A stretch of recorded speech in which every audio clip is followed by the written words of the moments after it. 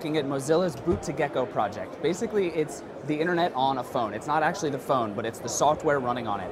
And it's essentially just the most intense HTML5 bookmarks you've ever seen on a phone. And it lets you do all of the things you'd ever want to do on your cell phone, but using HTML5 and the internet instead of any kind of native apps. So basically, as soon as you turn the phone on, all you're getting is the internet and HTML5, even the lock screen. Uh, and once you unlock it, this is basically just bookmarks like you've seen on the internet, but like way more impressive. Uh, even the dialer, which works just like any normal phone you've used, is all HTML5 and it's all running from the web. Uh, you can actually see the source code of a page that you're on, and you can see the JavaScript and all the stuff that's running this phone. And apparently you can edit it, but we figured we shouldn't do that. Um, as you can see, it's early in the project, and uh, it's not a product yet. They were very careful to tell us that. But there's a lot of cool stuff happening here. Uh, you can play games like Cut the Rope, which work in HTML5 as well. There's a full browser, uh, and the idea is there's going to be a marketplace, and your apps will actually follow you as you go. It's called Persona.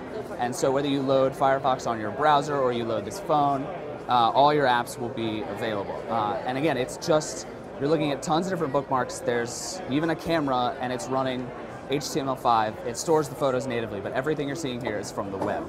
So right now, all of this stuff is only available if you're online. Uh, Mozilla is planning to bring a lot more into the project and let you do a lot more offline and select what you want to use on and offline. But for right now, this is purely an online phone. Uh, and again, it's very early in the project, but this is a pretty insane way of using bookmarks and using your phone from Mozilla. So that's Mozilla's Boot to Gecko project.